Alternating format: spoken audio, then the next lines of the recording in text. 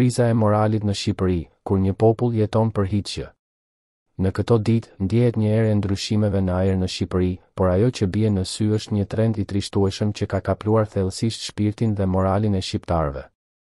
Në vend që të ngrihen e të shohin mundësitë për zhvillim dhe përmirësime në shoqëri, duket se morali i tyre ka rënë në një nivel të tillë, saqë ata pranojnë dhe përsëri pranojnë çdo lloj padrejtësie dhe korrupsioni nga qeveritë që janë në pushtet.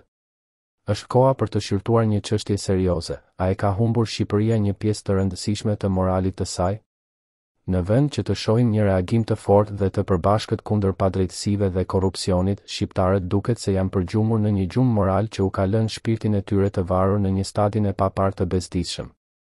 Ndonëse disa mund t'i hedhin fajet qeverisë dhe politikës, ky fenomen moral tregon më shumë për situatën në vetvete të shoqërisë. Shqiptarët kanë hyrë në një fazë ku korrupsioni dhe padrejtësia janë bërë të pranueshme, duke i lejuar atyre që janë në pushtet të vazhdojnë të shkelin ligjet dhe të shfrytëzojnë pasigurinë e tyre morale. Me një morali që ka rënë nën këmbë, shqiptarët po rrezikojnë të humbin atë që e bën një shoqëri të fortë dhe të përgjegjshme, ndjenjën e drejtësisë dhe integritetit personal. Në vend që të shpallin rezistencë kundër korrupsionit, disa kanë bërë përgjumje morale, duke i hapur rrugë një cikli të rrezikshëm të pasigurisë dhe degradimit shoqëror.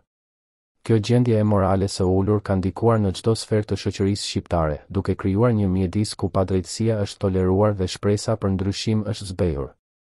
Është momenti që të ndërhyjmë, të nxisim debatin dhe të mobilizojmë shoqërinë për të kërkuar vlera dhe standarde të larta morale. pasi kur një popull humbet moralin, ajo që ndodh është një thellim i errët ku përgjumja morale shndërrohet në një zakon të rrezikshëm.